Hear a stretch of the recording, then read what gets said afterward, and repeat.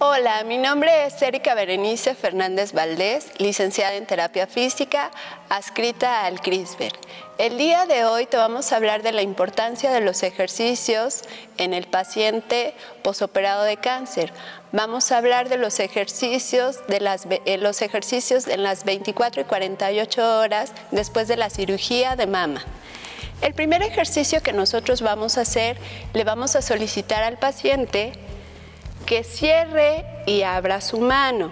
¿Esto para qué nos va a ayudar? Para mejorar la circulación del sistema linfático y con estos movimientos vamos a ayudar a que la inflamación disminuya.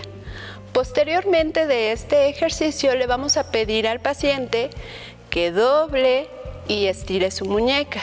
Esto también para mejorar la movilidad de mano y ayudar al bombeo tanto del sistema linfático como del sistema circulatorio. Vamos a realizarlo durante cinco repeticiones y después le vamos a pedir al paciente que suba y baje su brazo estirando el codo. En algunos casos, por la cirugía, puede ser que no lleguen a completar el movimiento, pero es importante que lo realicen y cada día traten de llegar y extender más su brazo.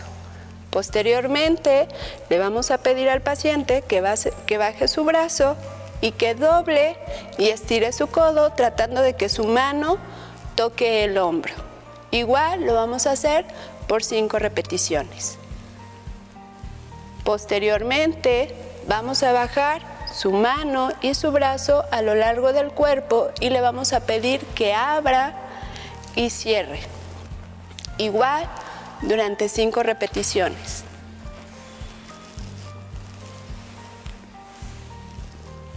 Es muy importante que estos ejercicios se realicen porque esto va a ayudar tanto a que disminuya la inflamación como el dolor y nos va a ayudar también a que más rápido el paciente se recupere.